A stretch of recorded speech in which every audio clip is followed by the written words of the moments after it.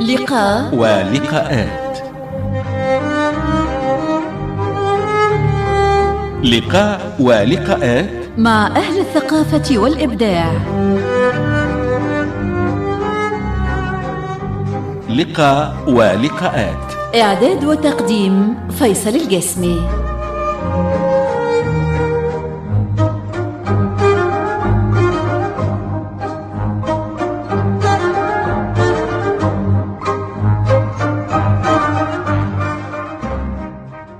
مرحبا مساء الخير مساء الأنوار أهلا وسهلا. تحياتي لكل من يستمع الينا عبر إذاعة تونس الثقافية بالاشتراك مع إذاعة صفاقس عدد جديد من لقاء ولقاءات. هذا المساء نلتقي مع الكاتبة والقاصة والسيناريست الأستاذة بلقيس خليفة. بمناسبة صدور مجموعات القصصية الثالثة ميتا مبتكرة. كذلك يحضر معنا الناقد الكبير الدكتور أحمد سماوي الفريق العامل معنا هذا المساء على الأجهزة التقنية استوديو البث الرقمي منجية الشعري. أجمل ما نبدأ به من كلمات أحمد فؤاد نجم البحر بيضحك ليه تغني حسن البجاوي.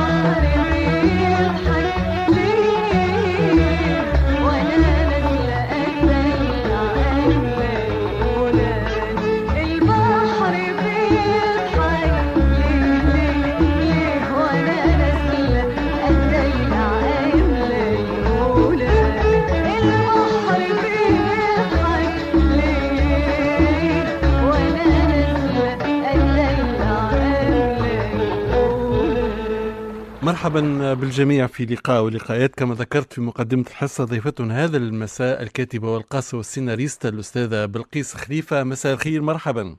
مساء الخير في فيصل. مساء الخير كافة متابعي إذاعة ساقس في ساقس وفي تونس وكافة متابعي الإذاعة الثقافية في كل ربوع الوطن. كذلك أرحب بالناقد الكبير أستاذ الدكتور أحمد السماوي. مساء الخير أستاذ أحمد. أهلا وسهلا بارك الله فيك. أهلا وسهلا أيضا ب ببلقيس التي شرفتني بأن أقرأ مجموعتها وأن أقدمها. نعم كان منذ أيام في مدينة صفاقس آه، على ركح مركز فنون الدراميه بصفاقس. نعم. مساء نعم. الخير أستاذي أهلا وسهلا بك يا بلقيس يعيشك يعيشك. الله يسلمك. آه نبدأ معك دكتور أحمد السماوي هذه المجموعة الثالثة بعد ملاحظات عابرة وابتسم أنها تمطر.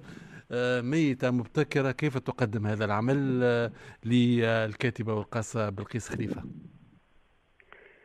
آه، هذه كما قلت المجموعة الثالثة لبلقيس وهي لافتة للانتباه. أولا لكونها تجمع بين أربع عشرة أقصوصة كلها تحوي, تحوي موضوعا واحدا هو موضوع الموت. وهو ما يجعل أو ما جعل بعضهم يقترح أن يصنفها أجناسيا فيما يسمى متوالية قصصية على أساس أن ثمة خيطا ناظما للأقاصيص جميعها. وهو ما سميته أنا في مداخلتي يوم قدمتها بوجود الموت باعتباره تشاكلا دلاليا أي فكرة قائمة قارة تحوم حولها الاقاصيص جميعها. وهذه الاقاصيص آه، تبدأ فيها الأمور هزلا ولكنها تنتهي جدا باعتبار أن بلقيس في الأقصوصة العاشرة أساسا لعلها لأهميتها اختارت عنوانها عنوانا للمجموعة الأقصوصية كاملة. نعم. وهي ميتة مبتكرة. نعم. ميتة اسم مرة من الموت. مبتكرة أي تصور لكيفية الموت. من يقرأ العنوان يندهش كيف للموت أن يب يبتكر أو أن يبتكر.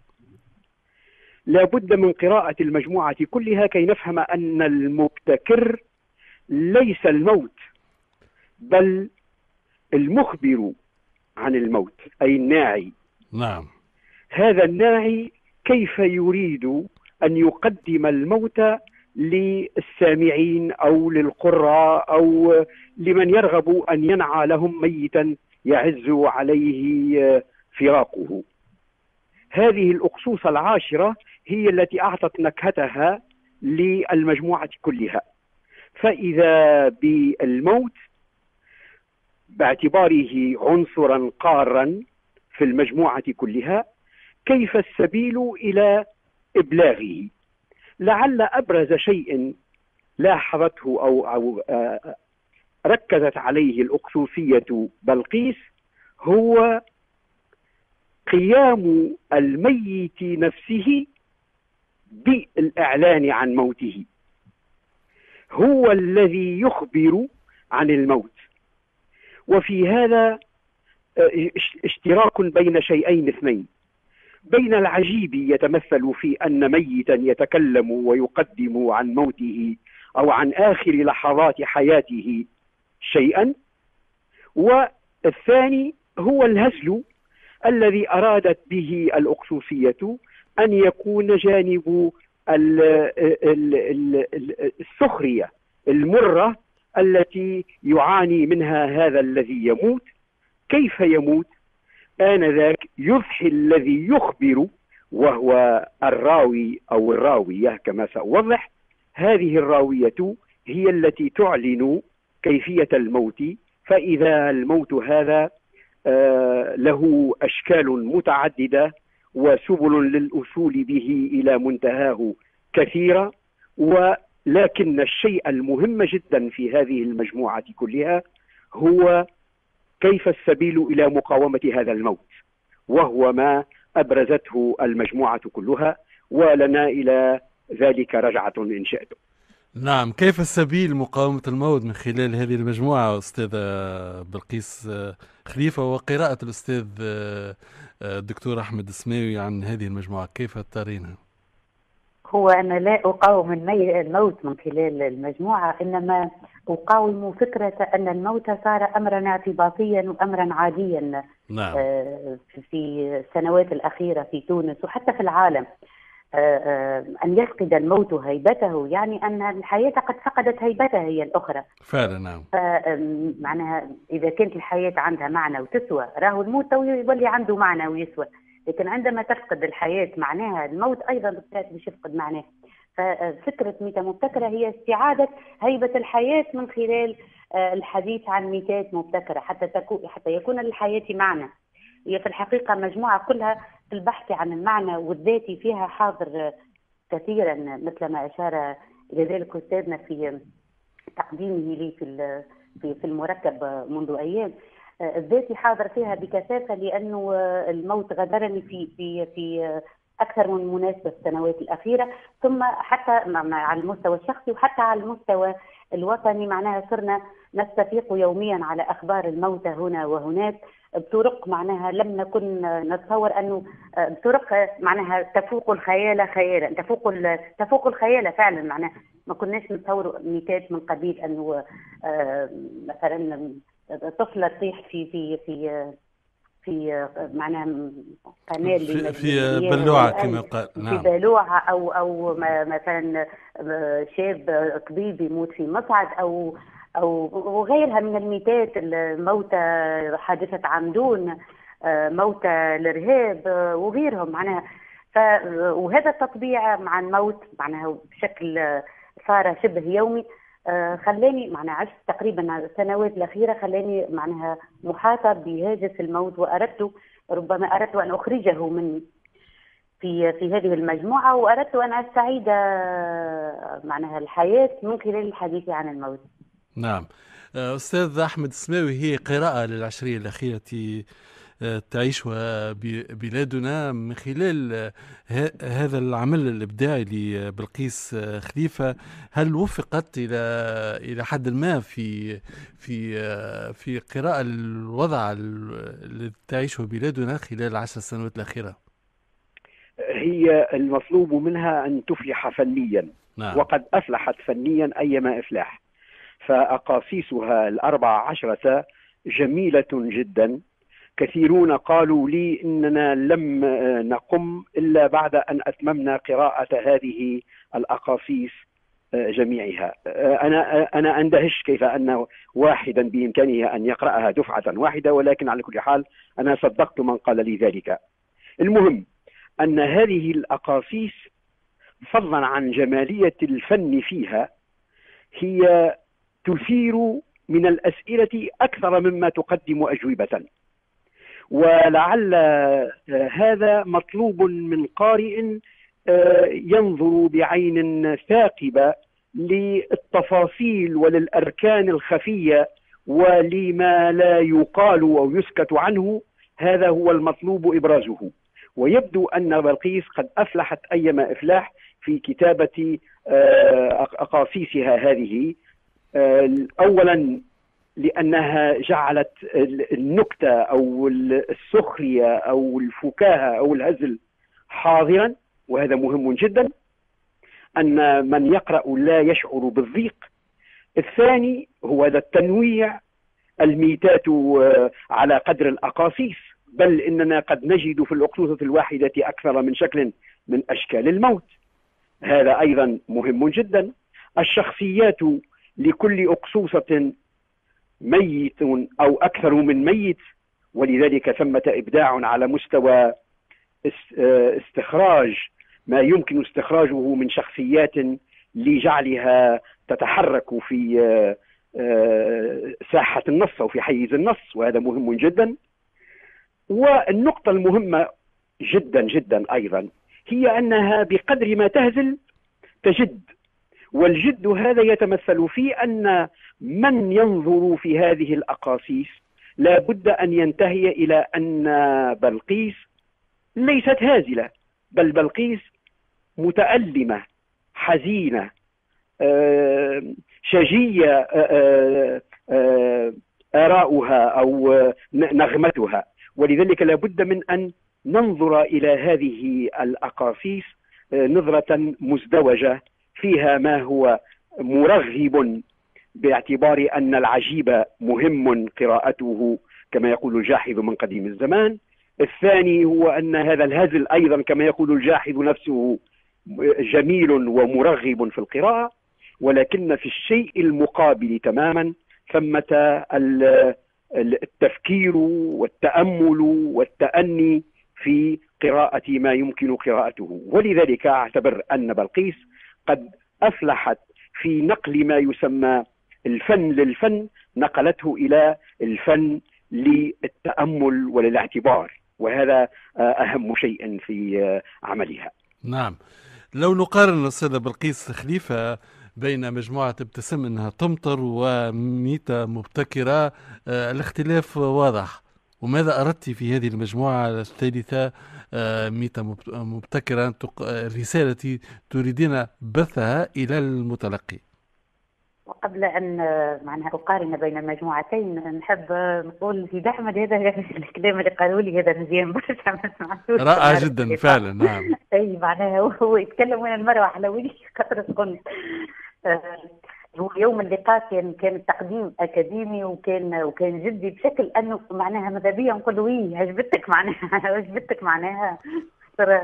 أحيانا معناها نحب ونسمع خاصة من خاصة من مدرسة اسمها الدكتور أحمد السماوي فعلا نعم ومربي الأجيال و... نعم.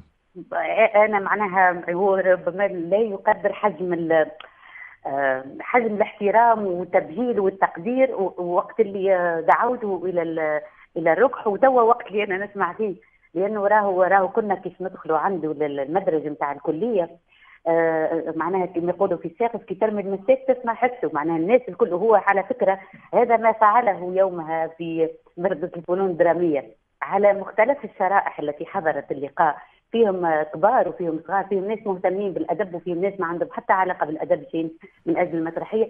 الجميع آه، صمتوا عندما تكلم آه، سيد أحمد السماوي وانصتوا واهتموا بالدقائق حتى معناها الأكاديمية والتفاصيل اللي معناها ربما حتى نهار ما سمعوها في حياتهم الكل سمعوا وهو أكيد لاحظ ما تمش حس بالكل الناس الكل تسمع. معناها حول قلت حولت المركز إلى مدرج آه، في الكلية يومها. نعم. آه وتلك هي ميزة الناقد المبدع الناقد الذي يعطي روحا آخر للعمل الإبداعي. نعم. وميزة آه، سيد أحمد آه، بالذات معناها قدرته على جعل الآخر ينصت إليه. كما قلت لك ملي كنا طلبة عنده في الجامعة. نعم. ربما لهذا معناها كنا طلبة أوفياء وكنا وخرج منا جيل باهي جيلنا تقريبا كله جيل ممتاز. أنا نشكر في روحي من جملة. بالنسبة نعم. للمقارنة بين ال بين ال بين المجموعتين المجموعة الثانية كانت مجموعة ساخرة بامتياز. كالخيط الناظم بين كل القصص لم يكن الموضوع إنما القدرة على الإضحاك.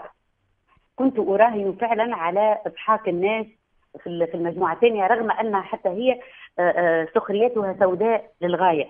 لكن آه، معناها كانت التيمة هي ابتسم إنها تنظر هي دعوة للابتسام. وإنها تمطر المفاجأة داخل المجموعة هي لا تمطر مطرا لا تمطر مطرا من السماء وغيثا نافعا إنما تمطر أشياء أخرى. فعلا نعم.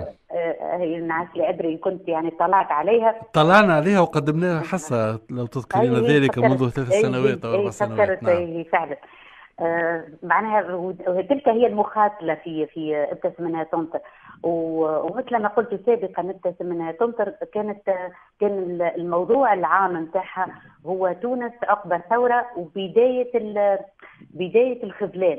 نعم. بداية ظهور الخيبات. بدينا وقتها نتلمس أثر الخيبة وزعما عامله باهية اللي عملناها في الثوره ولا مش باهية. ال- المي- ميتة مبتكرة أثر معناها في تسمينها تمطر أثر الثورة على المجتمع التونسي بشكل عام. في ميتة مبتكرة أثرها على الذات. أثر الثورة على الذات و- وبالطبيعة مش الثورة فقط لكن آه، حجم الحزن على الأقل وأنا ن- وأنا نكتب فيها كان كان ينبعث تحديدا مما يحدث آه، داخل الوطن. حتى أنه آه، الصديقة فاطمة بن محمود قالت لي أصابتني خيبة أمل بعد أن قرأت هذه المجموعة. قلت لها عليه ما عجبتكش. قالت لي لا ما لقيتش بلقيس الساخرة المنطلقة. لقيت واحدة أخرى حزينة رغم أنه فما نصوص هكا تبعث على آه، معناها على الهزل هكا نسبيا. آه، قالت لي ما لقيتكش. قلت لها ما ما معناها ما نجمش نخرجها بلقيس التي تعرفينها. بعد قداش من عام معناها آه، خيبات متتالية و... وخذلان ما لم أجدها. أنا نفسي قلت لها تمنيت أنه آه، شحنة ال- الهزل تكون أعلى شوية حتى رأفة بالقارئ لكني لم أجدها. معناها الله غالب ما خرجتش معناها نعم آه. نعم أستاذ أحمد السماوي المبدع الحقيقي هو الذي يعبر عن واقعه بكل ألم بكل آه، بكل مشاعر بكل ما أوتي من إبداع. صح. آه هو ال- ال- ال- الجميل في هذه ال- الأخ- المجموعة الأخصوصية هو أنها آه، تفرض على الباحث وأنا باحث أكثر مما أنا ناقد. يعني نعم لا أقول إن هذا عمل جيد وهذا عمل رديء أو هذا فيه نقص وهذا فيه لا. وإنما أحاول أن أفكك النص وأحاول أن أوجد آه، تفسيرا لظواهر فيه قد تكون هذه الظواهر خفية عن القارئ آه، العادي فأبرزها ليس أكثر ولا أقل. ولكن ليس دوري أن أكون ناقدا بقدر ما أكون باحثا وأظل دوما باحثا. نعم. المهم أنها فرضت علي أن أنتبه لشيء مهم جدا ولم يسبق أن انتبهت له. هي فرضت علي المجموعة. أن بالإمكان الحديث عن ما يسمى. بالأقصوصة بضمير المتكلم في الدراسات والبحوث ثمة إشارة إلى الأخصوصة بضمير المتكلم لأن ثمة آه، صنفين من الأقاصيص هي الأقاصيص بضمير المتكلم والأقاصيص بضمير الغائب هذا معروف لكن فيما تتمثل أهمية هذا الاكتشاف الذي رأيته من خلال عمل آه، بلقيس. أولا لاحظت أن لا رواة في هذه الأقاصيص الأربع عشرة إلا اثنين فقط. يعني من أربع عشرة أخصوصة اثنان فقط راويان والبقية راويات. نعم. معناها أعطيت الكلمة إلى النساء لكي يتكلمن في شأن هو في الحقيقة ليس خاصا بالنساء لأن الموت يصيب النساء والرجال الإنسان ولكن- نعم ككل نعم. ولكن هي ركزت على هذا. آه، اثنين ال- ال- البعد ال- ال- ال- الألم الذي شعرت به هي تت- تتكلم الآن منذ حين عن الألم أو على الألم الذي آه، قالت إنه كان النبع الذي منه متحت لكي تكتب هذه الأقاصيص. أنا رأيت ذلك واضحا وجليا ولذلك قلت لعل ثمة جانبا سير ذاتيا في هذه الأقاصيص. ليس يمكن أن تكون الأقاصيص سيرة ذاتية لأنها أولا متشظية يعني أربع عشرة وال والعمل السيرة ذاتي يتطلب نفسا طويلا. وعملا هو إلى الرواية أقرب منه إلى الأقاصيص هذا واحد. اثنين هذا يكتب في آخر العمر. وهي ما شاء الله ما زالت صغيرة السن ليحفظها الله إن شاء الله. إن شاء الله. ثالثا ثالثا البعد الذي يجب أن أؤيده أو أن أنفيه يعني أن أثبت أنه موجود أو غير موجود يجب أن يكون منطلقه النص. وكذا فعلت.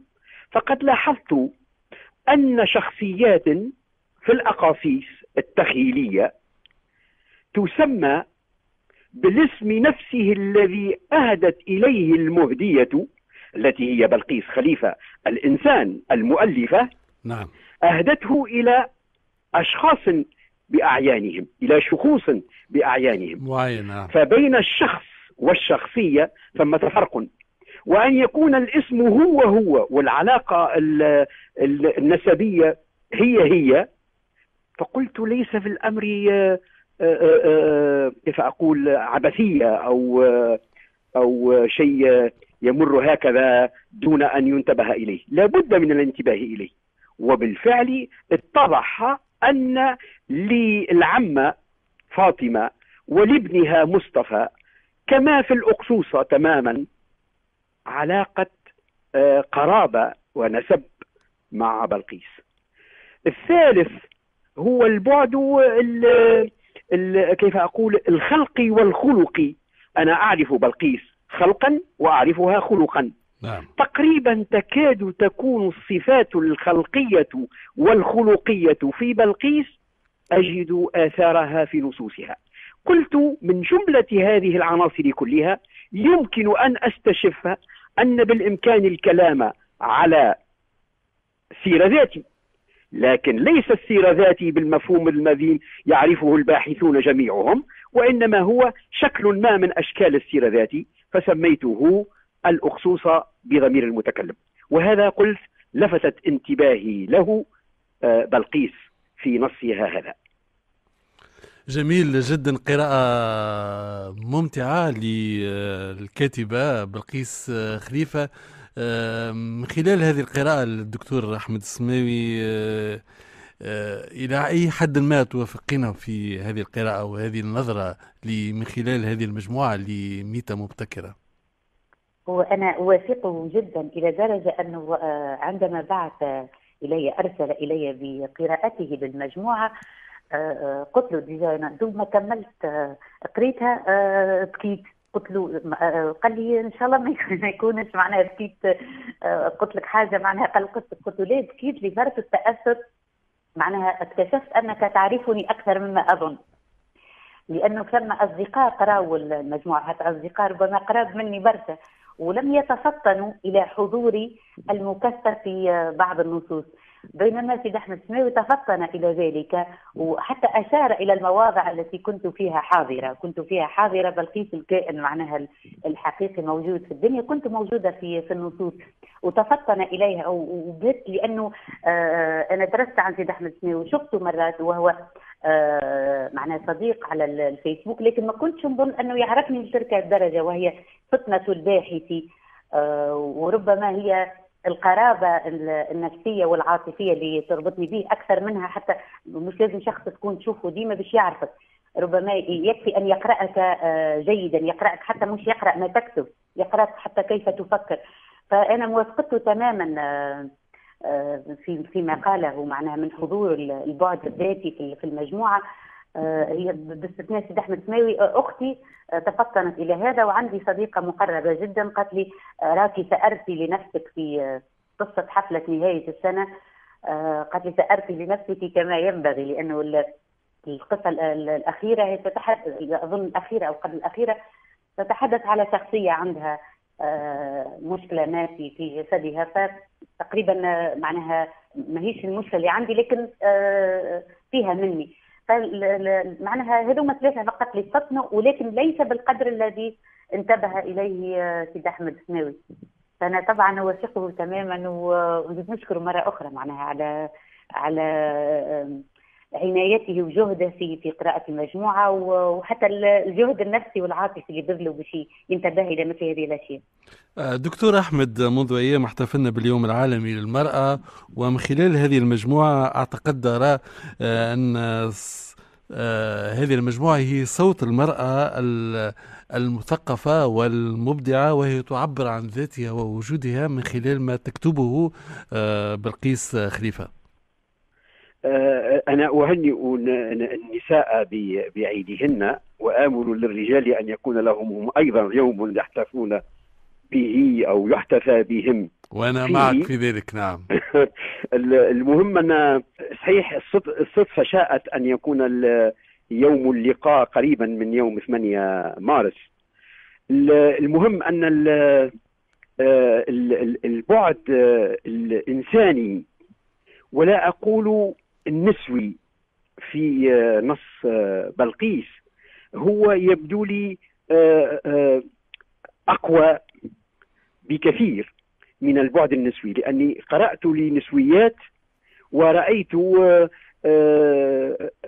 كيف أقول نوع من الثأر للنساء من الرجال في أعمالهن.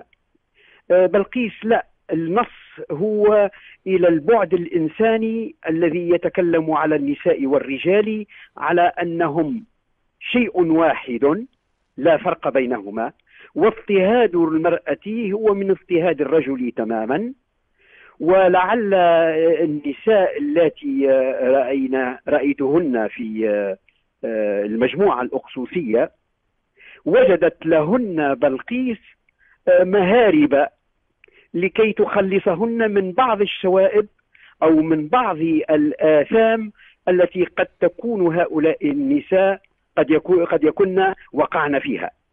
في مرتين اثنتين في أخصوصتين مختلفتين المرأة تخون زوجها ولكن الزوج ولكن الزوج آه، آه، يلطف بها واحدة فيها الطفل أو الابن وأبوه يخففان عن الأم التي هي تخون زوجها وهو واع بذلك وخشي عليها من الألم عندما كانت ذاهبة إلى عشيقها في فيلا مقابلة وكان قد رأى بعد امرأة أكثر جمالا منها سبقتها إلى الفيلا فخشي على زوجته التي تخونه وهو يعرف ذلك قال لها لا فائدة في أن تمشي. ولا ندري بالضبط كيف انتهت الأمور. المهم أنها علقت الأمور ولكن الأمر كان إنسانيا من جانب هذا الزوج.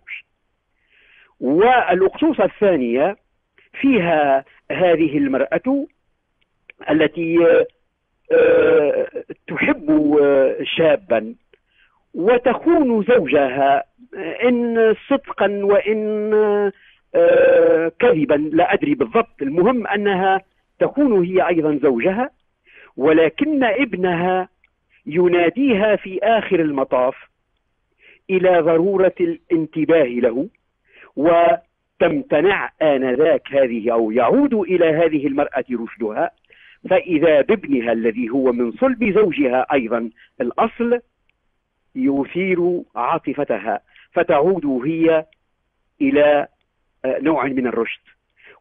وهذا البعد الإنساني في آه، نصي آه، بلقيس حيث آه، المرأة تخون أجد أنها تلطف بها وتلطف ما أمكنها العيب الذي يمكن أن تقع فيه. أما إذا كان الرجل هو الذي يسيء إلى المرأة فإنها لا ترحمه وهذا قد رأيته أيضا في أكثر من نص من نصوصها.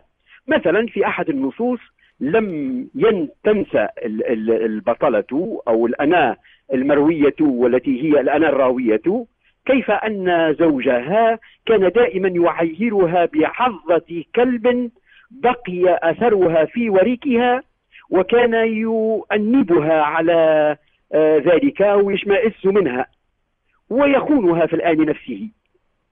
و و وهذا جعلها لا تطيق علاقتها به وتسعى إلى أن تعود إلى عشيقها الذي كان هو السبب في أن يعظه يعظها كلبه وعادت الأمور إلى مجاريها في آخر المطاف وذهبت الأمور آه، المذهب الذي يجب أن تنتهي إليه. الخلاصة من هذا كله أنه إذا كانت المرأة هي التي تسيء فإن لبلقيس نوعا من الميل إلى جانبها نعم. والتخفيف من آه، آه، خطئها أما إذا كان الخطأ من الرجل فهي لا تستكين في أن تلومه. تعليقك عن ذلك أستاذة بلقيس. يا سيدي احمد ونسيت ناجح في قصة آخر الناجين رغم أنه عمل عمل العمايل الكل وجدت له مبررات. ناجح في آخر الناجين الذي كان يسرق الدجاج.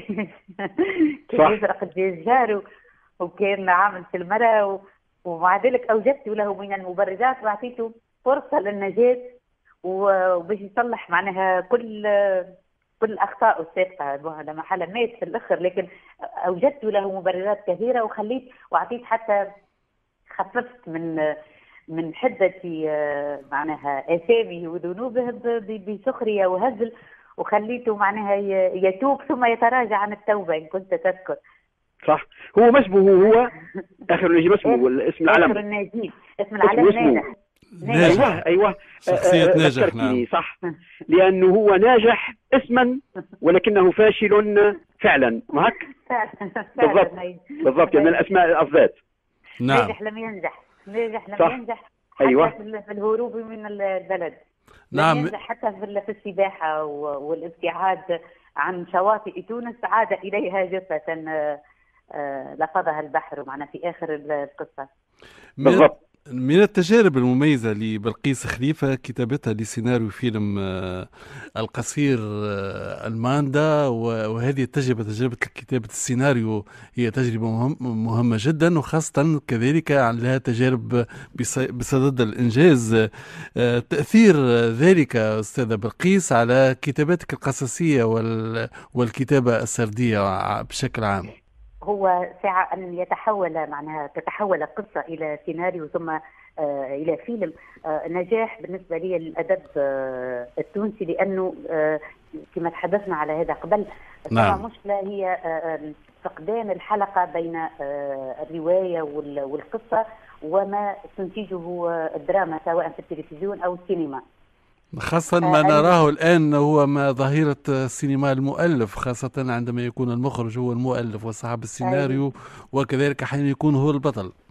تقريبا هذا في تونس معناه حوالي 40 سنة لم نستطع أن نغادر سينما أن نتجاوز هذه الدائرة نعم. وفي وفي التلفزة طبعا معناها الأمور تمشي إلى أسوأ. باستثناء عمناه ولا فيلم حرقة لكن ما عدا ذلك معناها الأمور تتدهور نحو الاسوء والدليل أنه فيلم مسلسل حرقة نجح نجاح كبير جدا ونال جوائز هامة وحتى آه، على المستوى الجماهيري والمتابعة كانت هناك متابعة هامة جدا. نعم.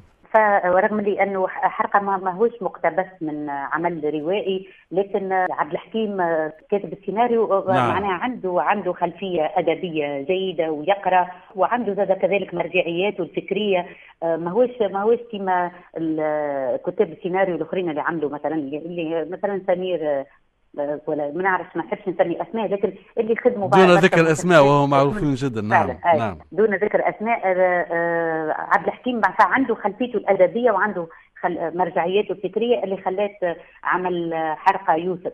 المهم بالنسبة لي آه، معناها تحويل الماندا إلى سيناريو ثم إلى فيلم نجاح للأدب في تونس وفرصة للكتاب أن يعقدوا صلة بين المخرجين لكن تبقى هنا المشكلة هي مشكلة الإنتاج.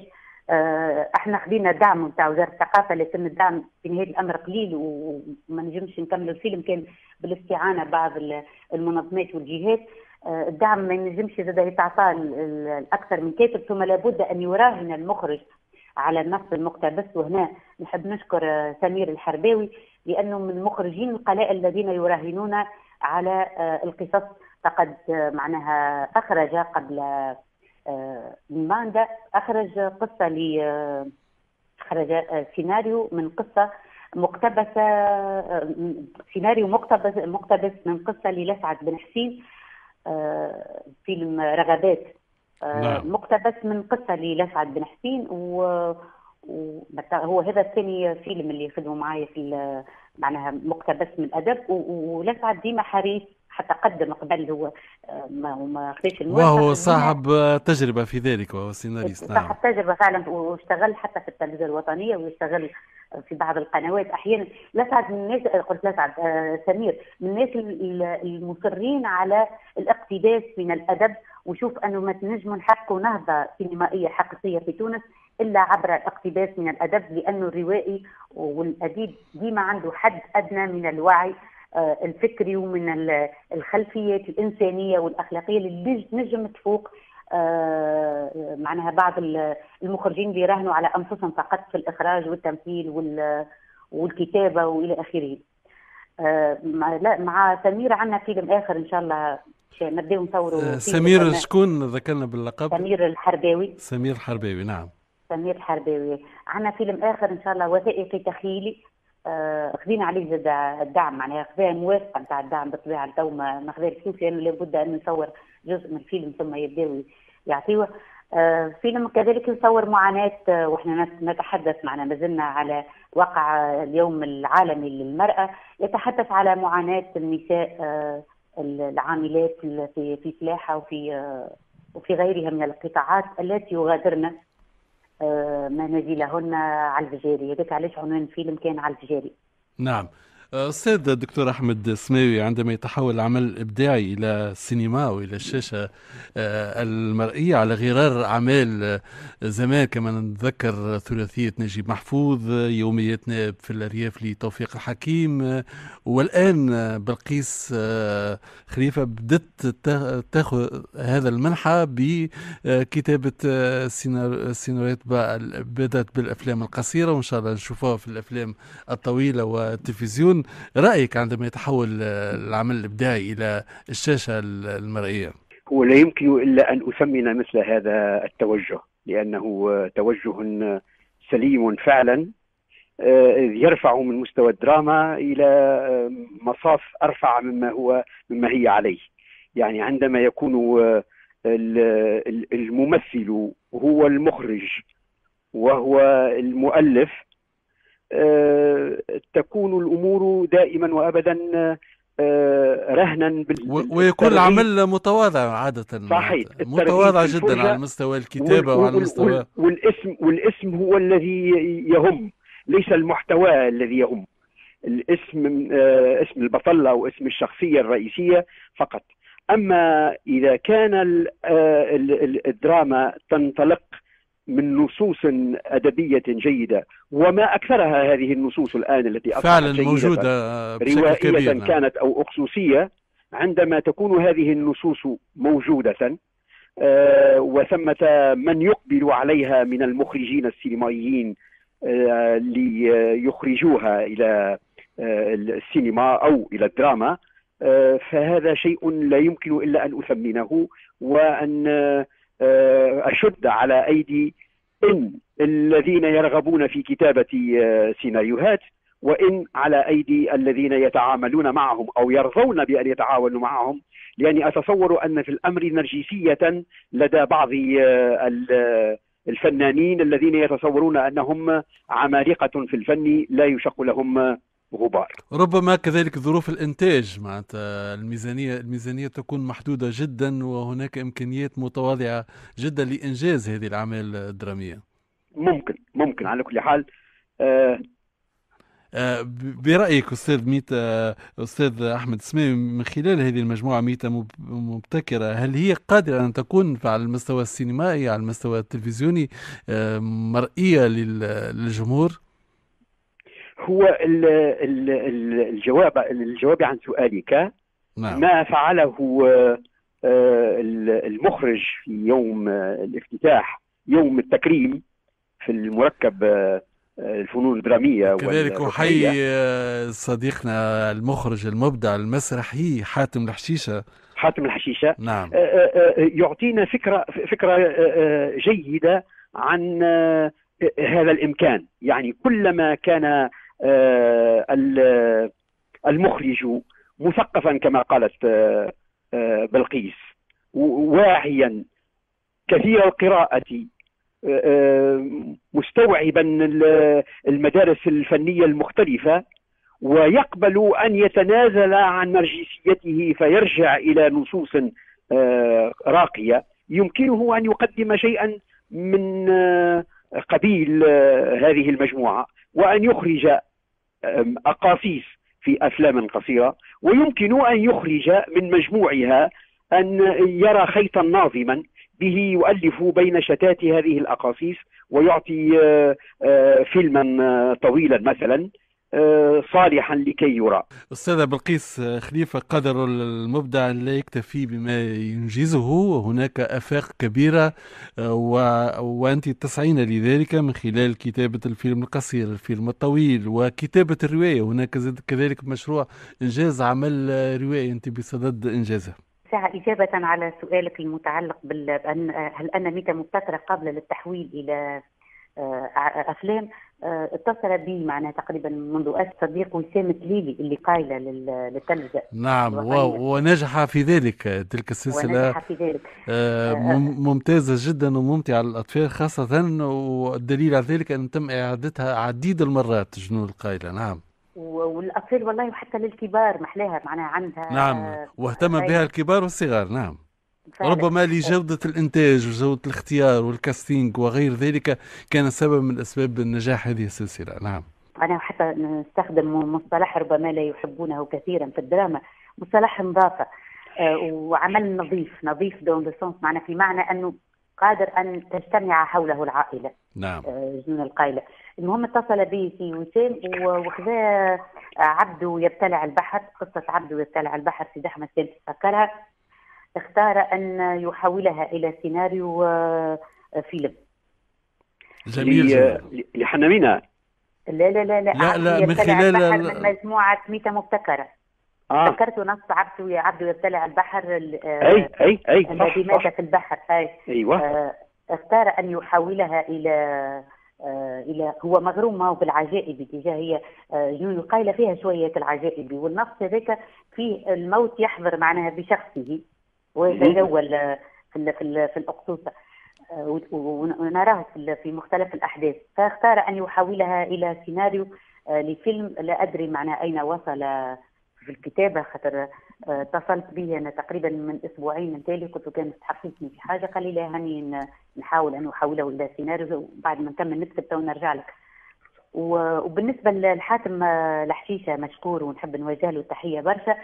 آه، قال لي أنه سيشتغل آه، معناها بصفة متطورة أكثر على المسرحية التي قدمها ليحولها إلى عمل مسرحي متكامل يقدم يقدم في في مهرجانات ربما قادمة. خاطر هو استغل عليها بسرعة نظرا لأنه كان محاصرا بالوقت توا عنده المجال باش يطورها و- ويستغل عليها بشكل أفضل. فمعناها المجموعة رغم أنها فيها العجائب إلى آخره وربما حتى الجانب الذهني ساعات فيها آه، غالب لكن وهذا معروف. على حاتم الحشيشة الم- المخرج المسرحي المبدع وهو اشتغل آه، منذ سنوات على نصوص. على نص سعد الله والنوس. وهذا ليس بغريب عن حاتم الحشيشة تحية ليه و- نعم ومحضر مسرحية على. من رواية آه، مقتبس من رواية محاكمة كلب لعبد الجبار لع- العشق لعبد الجبار العش كذلك قدم بعض اللوحات المسرحية لهذا العمل الروائي العمل الروائي المهم تقريبا في تاريخ الرواية التونسية محاكمة كلب من أهم الروايات التونسية اللي كتبت في. في. حتى في العقدين ولا ثلاثة عقود الأخيرة نعم تبقى نعم علامة معناها محاكمة في تقديري طبعا معناها تبقى المسألة انطباعية لكن في تقديري من أهم الأعمال اللي- الروائية اللي تكتبت آه، في تونس آه، محاكمة كلب لأنه الشخصية من كان قريتها الشخصية من سلسلة آه، عيون دار المعاصرة الجنوب. نعم آه، نعم، وابتدى درس. هي دار نعم. الجنوب عن عيون المعاصرة آه، أخذني الاستطراد بعيدا ونسيت ما هو السؤال الذي طرحته علي في البداية حكينا إحنا على العمل الأخير عندما يتحول إلى عمل آه، سينمائي ومدى النجاح آه، الذي تسعين إليه أنا عندي معناها عندي زوز أحلام بحب ن- نحققهم. شريط سينمائي طويل ورواية تاريخية عن صفاقس الرواية أعددت لها العدة وتقريبا معناها خططت لها آه، و- ومنيتي أن تتحول لاحقا إلى مسلسل. أعيد فيه الاعتبار إلى الجهة آه، خاصه من الناحية التاريخية وخاصه في علاقة بالمقاومة. نعم ربما الحجوجة يمكن أنا ما نحبش ما نحبش نحرق أي فكرة ال- بس ال- الأحداث أي- أي. آه، المهم وصلنا لنهاية المشوار في هذا اللقاء الممتع معك الكاتبة المبدعة والسيناريست آه، الأستاذة بلقيس خليفة. آه، نحاول ناخذ كلمة أخيرة من الأستاذ الدكتور أحمد سماوي ثم كلمة أخيرة معك. الدكتور أحمد سماوي في نهاية اللقاء الممتع الذي آه، تحدثنا فيه عن كل جوانب كثيرة من خلال هذه المجموعة ميتة مبتكرة لبلقيس خليفة. أنا أولا قبل كل شيء أشكر آه، بلقيس على أنها فسحت لي هذا المجال لكي آه، أحاور نصها وأشكرك أنت أيضا لأنك أعطيتني هذه الفرصة لكي أكلم العفو العفو. جمهور المستمعين آه، أكلمهم في شأن هذا هذه المجموعة الأخصوصية هذه التي جذبتني ولفتت انتباهي وجعلتني بال- بالفعل في إطار آه، عملي باحثا وهو لا ينتهي آه، مع ما أتمناه من طول العمر إن شاء الله أنه آه، نبهتني لأشياء لم أكن أعرفها آه، جيدا. فهي قد آه، فسحت لي المجال لكي أفهم أشياء هي جديرة بالفهم. ونتفائل بمستقبل السرد في تونس أستاذ أحمد. لا أنا آه، قلت قلت لك هذا منذ حين. نعم. آه، آه، أشعر بأن ثمة كثيرا جدا من الإبداع الروائي والإبداع الأخصوصي الفترة الأخيرة والإبداع الشعري أيضا. ثمة إبداع في هذه العشرية التي مضت كأنها نوع من الرغبة في تجاوز الضائقة التي يعيشها المجتمع التونسي في المجالات جميعها. سياسية واقتصادية واجتماعية كأن الفن آه، والفن الجدير بالاهتمام والبحث العلمي أيضا آه، ثمة ود- ودور النشر. يعني النشر والمبدع ال- ال- ال- الفني بأصنافه المتعددة وال آه، ال- ال- ال- ال- الأقصوصة والشعر والأدب كل هذا آه، طفى على السطح في هذه العشية بطريقة تجعل العمل بالإمكان آه، آه، الفرح به وكل الفرح. كل الشكر الدكتور أحمد السماوي. كلمة أخيرة الأستاذة الكاتبة بلقيس خليفة. نحب نشكر كذلك بالمثل في سيد أحمد السماوي. ونقول له نشكرك برشا لأنك بذلت مجهود كبير معناها مجهود بثاقه حتى معناها ما كنت أنتظره.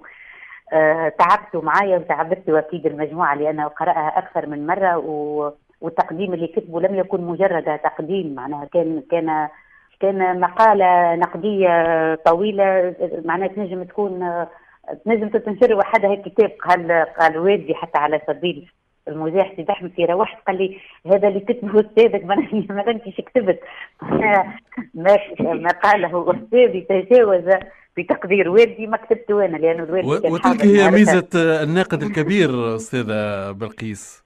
فعلا معناها أولاها عناية الكلام على الكلام من أصعب الأشياء. قريت قبل معناها ما يكتب عن روايات وعن قصص إلى آخره لكن آه، الاهتمام بالدقائق والتفاصيل الذي اعتنى التي اعتنى بها سيد أحمد معناها آه، آه، أخجلني حقا ونقول له سامحني في تعبك.